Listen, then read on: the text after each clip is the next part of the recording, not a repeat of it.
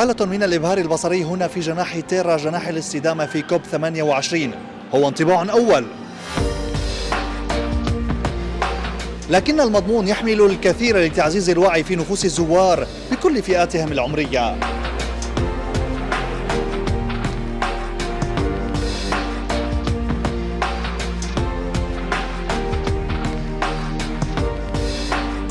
أنا وجدت هنا أمور كثيرة جدا في جناح الاستدامة. يعني أظهر بصراحة انبهارا كثيرا لي والآخرين حتى. وجدت هذا الانبهار على وجه الآخرين هنا.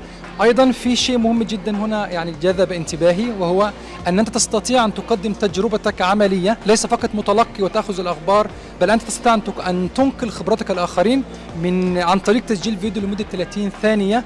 هو أن تحكي فيه عن قصة بسيطة أو عبرة بسيطة أو حكمة أو نصيحة تقدم الآخرين. وعندما يأتون بعد ذلك يشاهدون هذا الفيديو ويتعلمون منك في هذا المعرض. جناح الاستدامة كان رائع بالنسبة لي ويستاهل الزيارة وخاصة للأطفال أنهم يكونوا أقرب للطبيعة والمحيط. كان نشوفوا في الأماكن الكل فما معلقات يشرحوا كيفاش أنك لازم تحافظ على المحيط متاعك وكيفاش التأثير متاعك على المحيط. يعني باش يكون بطبيعة يتأثر حتى بعد ما يروح لمنزله باش يقعد يفكر في إنه قبل ما يشتري قبل ما يشتري بلاستيك ولا حاجة يفكر إنه باش يتأثر على محيطه ولا لا. والله أنا حريص كنت إنه يكونون العيال معي وهم يعني الحمد لله يعني استمتعوا بالجولة اللي موجودة هنا.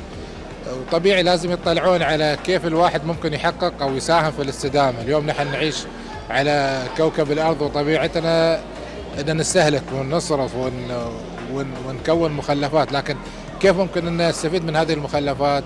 كيف إني أساهم في تحقيق الاستدامة؟ الحفاظ على كوكب الأرض. أتوقع إن العيال شافوا بالأنشطة التفاعلية اللي موجودة هنا شافوا أشياء كثيرة راح تساعدهم أكيد يعني في في تحقيق هالشيء والله شفته إشي جميل وكويس وإشي بخلي الأطفال يعني يتعلم عن الشغلات تبعت البيع وشو بصير فيها وشو بصير في البحر. أنا أنا جيت مع الأطفال وأكثر شيء لفتني هو انبهار الأطفال بالتفاصيل وبكل الأشياء الموجودة هنا خاصة في جناح الاستدامة لأنه يخليهم ويوعيهم شوي على الطبيعة ومحافظة على الأرض ودخلنا في جو الأرض. وما شاء الله يعني فرحانين وبشوفها بعينيهم. لما يشوفوا صغاري الأشياء هنا بيسألوني أسئلة وأنا بنفسي بفكر بالأسئلة هذه وفيها يعني تخلينا يعني تحيي فينا أشياء موجودة لكن نشوفها وتخ... يعني في catalyzer في catalyzer effect